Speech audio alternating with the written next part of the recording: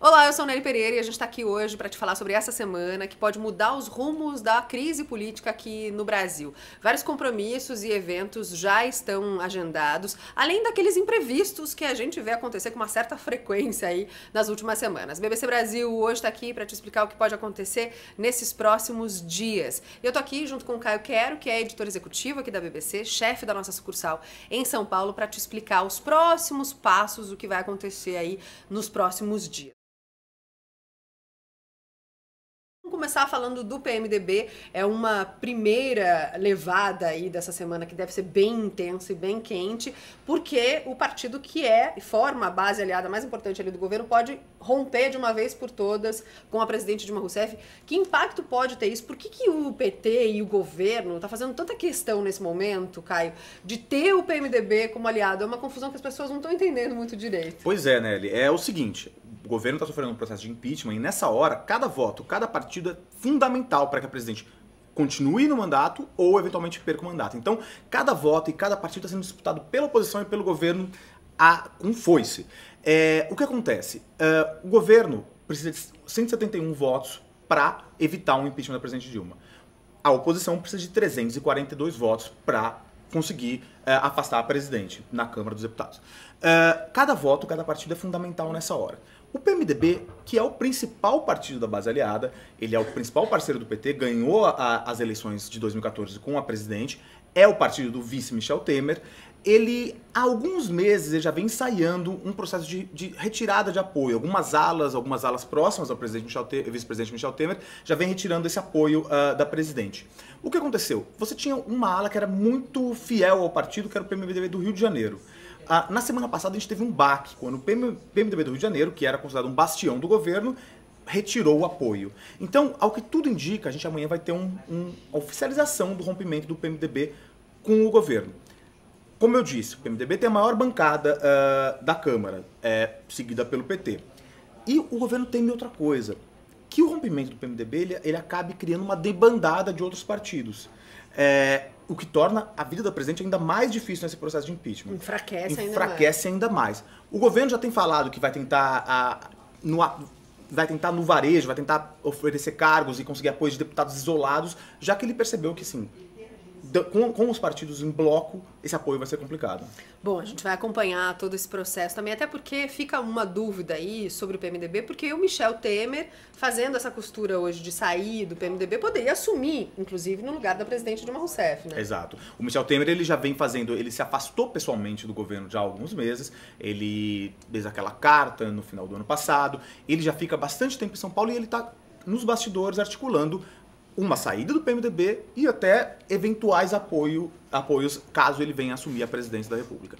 É, é, interessante que você vai criar essa, essa, essa dicotomia, essa contradição, porque você vai ter, no, no caso de um eventual é, rompimento do PMDB, que pode acontecer amanhã, você vai ter o Michel Temer como vice-presidente, parte desse partido, e sete ministros ainda que fazem parte do PMDB. Esses ministros eles estão tentando fazer campanhas dentro do PMDB para evitar esse rompimento ou para pelo menos evitar que ele seja compulsório agora ou para adiar a entrega dos cargos para do, do PMDB no governo, mas tudo indica que eles talvez não sejam tão bem sucedidos.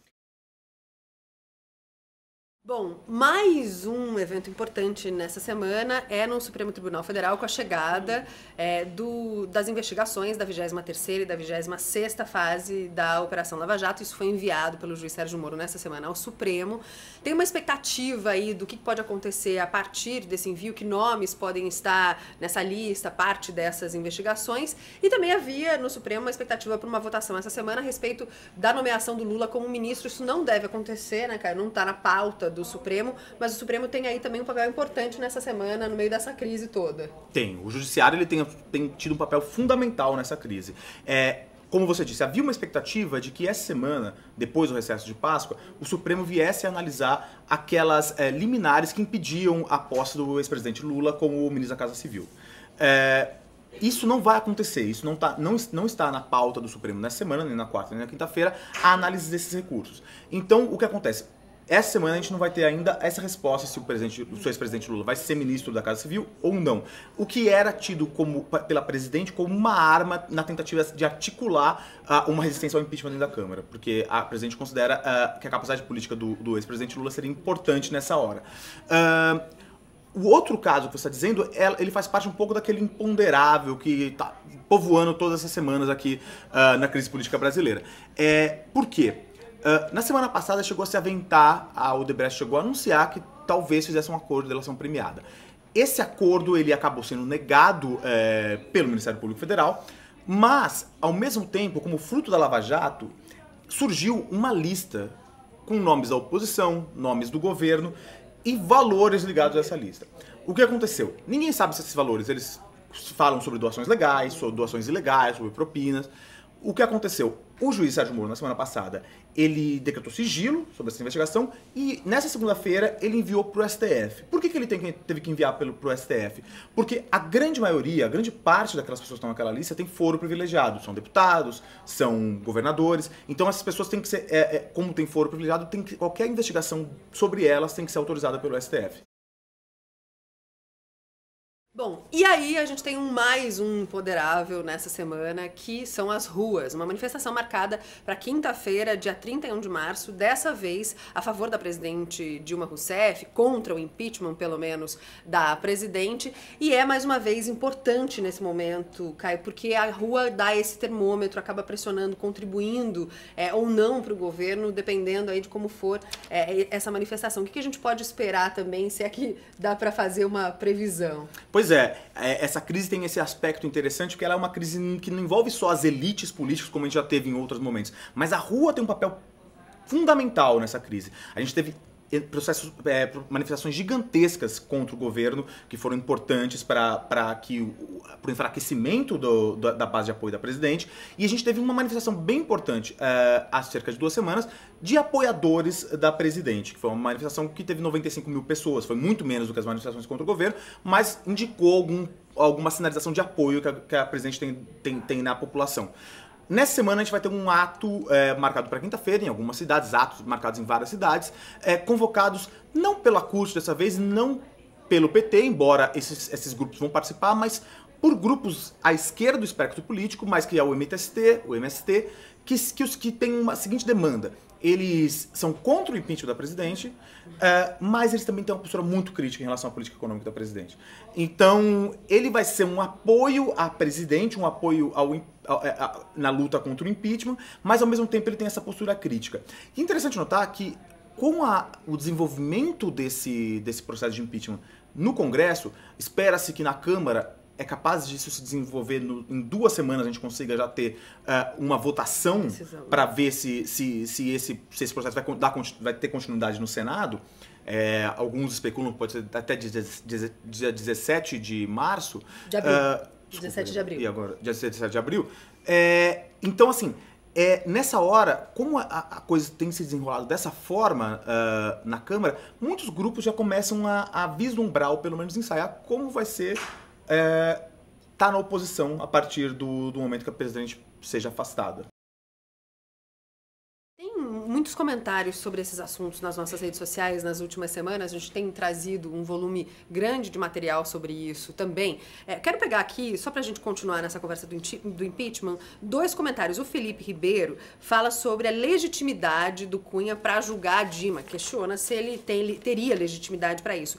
E o Luciano Boulos fala: o Cunha é só uma questão de tempo. O que é mais importante nesse momento, a prioridade tem que ser o impeachment. Tem essa discussão sobre a legitimidade do Eduardo Cunha de liderar esse processo e de inclusive dar mais celeridade ao processo de impeachment. Se a gente pensar que ele também tem um processo contra ele, ele já é réu por corrupção, lavagem de dinheiro, e esse processo parece mais lentamente, justamente porque ele é essa figura central que dita o ritmo desse procedimento na Câmara. Então muita gente pergunta sobre essa legitimidade e tem uma confusão aí sobre por que a gente está falando sobre corrupção e tem a Lava Jato sobre a base legal do impeachment da presidente, que não está diretamente ligada à Lava Jato, né? Cara? Exato, exato. A questão do, do presidente da Câmara, Eduardo Cunha, ela é sempre lembrada pelos apoiadores do governo e pelo próprio governo como um, um fator de ilegitimidade nesse processo de impeachment. Já a oposição ela argumenta que esse processo não, não pertence mais ao, ao, ao, deputado Eduardo Cunha, ao presidente da Câmara, porque ele já, já andou muito mais, ele já se acelerou, ele já está, ele já está na mão da comissão do impeachment que, que não tem não, e não está na mão mais do presidente Eduardo Cunha. O que acontece? É, esse processo agora, ele realmente ele, vai, ele não está diretamente na mão do, do, do presidente Eduardo Cunha, mas ele tem o, o Eduardo Cunha ele tem acelerado, ele tem feito sessões da. Como ele tem, tem diversos prazos a serem cumpridos, uh, são 10 sessões da comissão de impeachment até a presidente é, apresentar sua defesa, que se espera que aconteça na semana que vem, talvez no dia 4. Uh, é, mas para acelerar esse processo, o presidente Eduardo Cunha ele tem feito sessões diariamente na Câmara, o que não é tão comum. Por exemplo, eles fazem sessões segunda-feira, sextas-feiras, que não é tão comum. Agora, é importante lembrar isso. O pedido de impeachment que está sendo analisado agora pelo Congresso, ele diz respeito às pedaladas fiscais e também ele cita possível omissão da, da presidente no caso de corrupção na Petrobras é, e também gastos do governo não autorizados pelo Congresso, mas ele não tem efetivamente relação com a Lava Jato ou com as revelações uh, da suposta uh, da, da, delação, supostas revelações da, da, da, delação premiada do, do, do Seja Moral, ele não tem essa relação. Parte da oposição quis aditar, quis adicionar no, no, no, pedido de impeachment essas revelações e essas acusações.